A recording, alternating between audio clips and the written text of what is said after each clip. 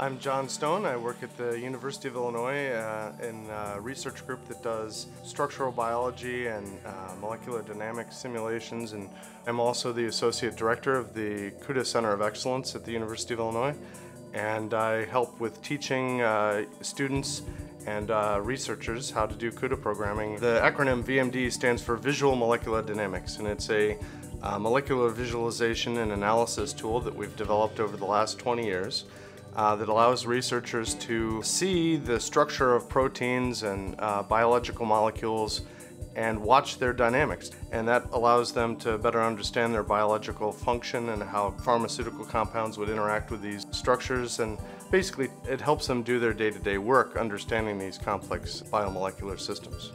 So being a molecular visualization program, VMD has used graphics acceleration uh, since its inception.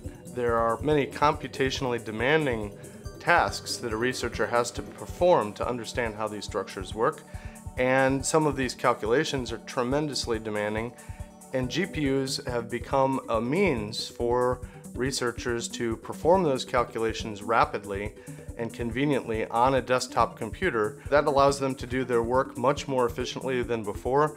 It allows them to uh, look at much larger and more complicated molecular systems than was possible in the past. We can now render molecular surfaces for very, very large structures, which previously were far too large to be rendered uh, in real time on the GPU. And as you can imagine, if, if we are unable to do this on the GPU, then we have to, the CPU, the host machine may have far more memory, but it is much, much slower. So then it no longer is able to maintain an interactive display rate. And so one of the new features in, in the latest version of VMD is this uh, greatly increased memory efficiency for these molecular surfaces.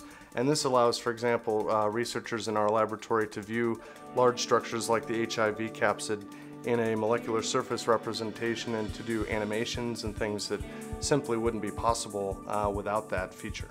The areas where you get the greatest GPU acceleration are algorithms that have components in, in them that unsurprisingly have some similarity to what GPUs do in their day job, which is the, the shading of all those pixels on the screen. So things that contain transcendental functions, for example, tend to be very fast on GPUs.